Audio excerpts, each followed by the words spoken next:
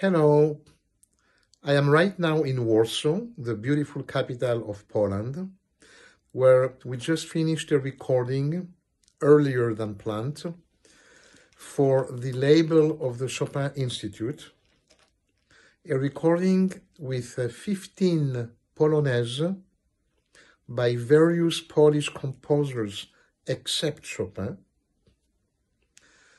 and I remind you that I recorded the complete Polonaise of Chopin about uh, nearly 30 years ago for Sony Classical.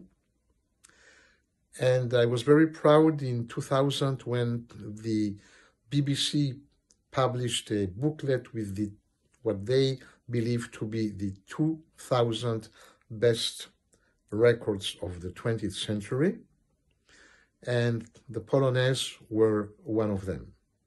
So anyway, I have been recording here about 15 Polonaise by various Polish composers from the 17th century to early 20th century. Some of them are by anonymous composers of those early years. And you also have the famous violin Polonaise by Henryk Wieniawski, which sounds great on the piano through a very nice uh, transcription.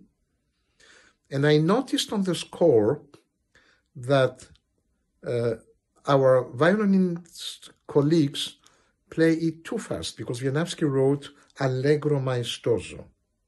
Anyway, there is also a very nice Polonaise by his brother, the pianist Joseph Wieniawski, and several more surprises.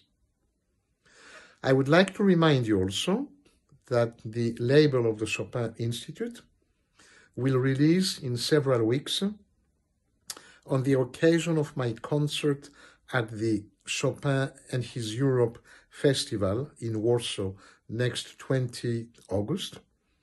They will release two more CDs which were recorded last year and two years ago. One of them is made of uh, music composed by the pupils of Chopin. And the other one is the world premiere recording of the piano solo arrangement by Georges Bizet, the man who wrote the most popular opera, Carmen, of course. He also wrote a fantastic arrangement of the complete opera of Mozart, Don Giovanni. Bye bye.